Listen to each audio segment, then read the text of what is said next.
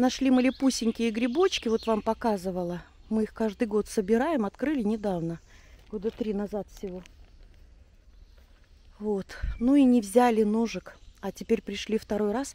У нас страшная жара началась. 28, а так 30 за 30. Ну и вот обошли старые дубочки. Смотрите, что нашли. Жабо.